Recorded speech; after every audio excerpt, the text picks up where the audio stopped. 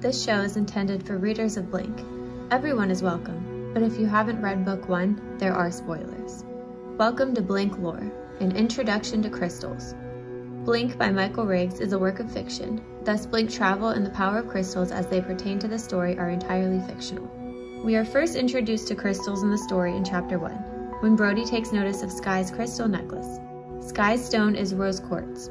It is a soft pink stone that is fairly common. Sky explains to Brody that it was a gift from her mom, and that it would keep her safe always. This introduces Brody to the idea that people believe crystals have power.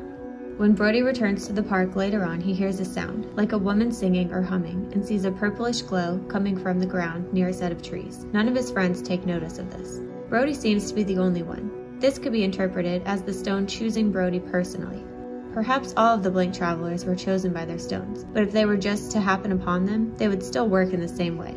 It's unknown why the crystal necklace was at the park, but we find out that Brody's dad had one that was exactly like it. His mother tells him this when she takes notice of the stone later on. To blink to other planets, both Blink travelers in a pair must possess a crystal.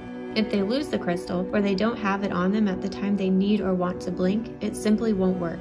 This is because the crystals are the power, or the battery if you will, for blink travel.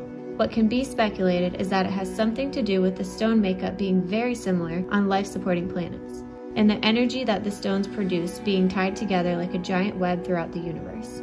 To blink, two people who possess crystals on their person must place their palms together tightly with locked interlaced fingers.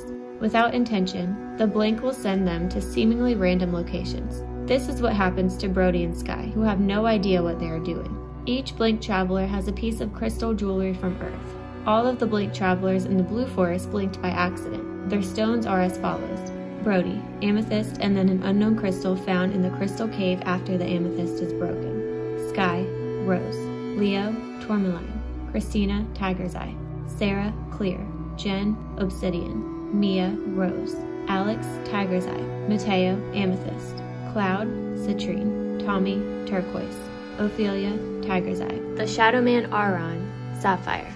We'll learn more about Alex, Mia, Mateo, Cloud, Tommy, and Ophelia in Book 2, Blink Traveler, due to release in the summer of this year. It's a scary thought that if one in a pair loses their crystal, they are stuck where they are, especially when there are so many hostile and dangerous unknown planets out there. So if you find yourself blinking, guard your stone with your life. We'll discuss crystals and blink travel much more throughout this series. Until next time, thank you for watching Blink Lore. Blink by Michael Riggs is currently available at Amazon in paperback and Kindle ebook.